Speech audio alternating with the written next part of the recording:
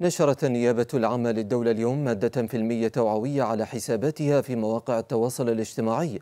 أوضحت من خلالها عقوبة حيازة وتوزيع محررات ومطبوعات وتسجيلات بقصد إثارة خطاب الكراهية.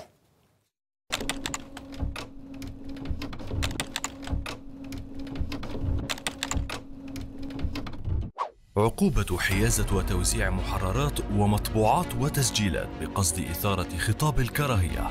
وفقا للمادة الثانية عشر من المرسوم بقانون اتحادي رقم 2 لسنة 2015 في شأن مكافحة التمييز والكراهية يعاقب بالحبس مدة لا تقل عن سنة وبالغرامة التي لا تقل عن خمسين ألف درهم ولا تزيد على مئتي ألف درهم أو بإحدى هاتين العقوبتين كل من أحرز أو حاز محررات أو مطبوعات أو تسجيلات أو أفلاما أو أشرطة أو اسطوانات أو برامج الحاسب الآلي أو تطبيقات ذكية أو بيانات في المجال الإلكتروني أو أي مواد صناعية أو أي أشياء أخرى تتضمن إحدى طرق التعبير إذا كانت معدة للتوزيع أو الاطلاع الغير عليها وذلك بقصد ازدراء الأديان أو التمييز أو إثارة خطاب الكراهية. كما يعاقب بذات العقوبة كل من أحرز أو حاز أي وسيلة خاصة بالطبع أو التسجيل أو الحفظ أو الإذاعة أو المشاهدة أو النشر أو البث أو الترويج. لاستخدامها في ارتكاب